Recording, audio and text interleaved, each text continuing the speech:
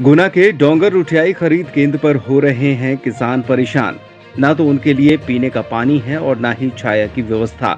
न तो वारदाना है और ना ही तुलाई की पर्याप्त इंतज़ाम। किसानों का कहना है कि अधिकारियों द्वारा मनमर्जी चलाई जा रही है। कई किसान अपने बूढ़े माँ बाप को छोड़कर छह दिनों से खरीद केंद्रों पर पड़े हुए हैं और कई किसान दो हज़ार रुपए प्रति ट्रैक्टर किराए से लेकर आए हैं और अपनी सारी व्यवस्थाओं को छोड़कर छह दिनों से यहाँ पर पड़े हैं। ट्रैक्टर का भाड़ा अलग से लग रहा है। सोलह तारीख का मैसेज था।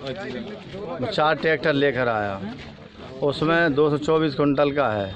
और मेरा जो है, गल्ला नीचे पड़ा हुआ है। गायें खूब खा रही है उनमें से। मैं बस भी रहा हूँ। अकेला जना हूँ घर में। परेशान बहुत हूँ। यहाँ बोलता हूँ, वे मना कर रहे हैं कि अभी नहीं, हमारा जो है मैटर सुधर जाने किसान लोग, नंबर तो हमारा पंद्रह में यहाँ पे चढ़ गया था। ट्राली का मेरा नंबर भी आ गया। अभी लिस्ट में नाम भी आ गया है। अब वो बोल रहे हैं, दो ट्राली के बाद मेरा नंबर है। उन्होंने बोला, बारदाना एंड हो गया अब। अब तुम्हारी कल तुलेगी बारदाना, आएगा तो। नहीं तो तुलेगी भी नहीं। और मैं चना का सैंपल लाया। उसे तो पास कर दिया। आज मैं ट्रैक्टर लाने वाला था, फिर यहाँ से मना कर दिया। ये बारीक वाली चनी आपका फेल हो जाएगा, नहीं तोलेंगे इसे। इस अव्यवस्था की सूचना किसानों ने एक सौ इक्यासी मुख्यमंत्री हेल्पलाइन और कलेक्टर तथा तहसील लेवल के अधिकारियों को देने का प्रयास किया, लेकिन कहीं से कोई जवाब नहीं आया। भूखे बेहाल पड़े किसान अभी भी खरीद केंद्रों पर मौजूद हैं और उनकी कोई सुनने वाला नहीं है।